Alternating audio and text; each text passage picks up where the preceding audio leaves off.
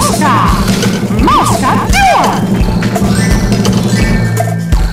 Mouska Tools! Mouska Tools! Mouska Tools! Got a giant fork? Bowling pins? Fun! A traffic signal for telling us when to stop and when to go. And a mystery Mouseketool! That's a surprise tool that can help us later. Now let's down to Mickey Lake and start our underwater adventure!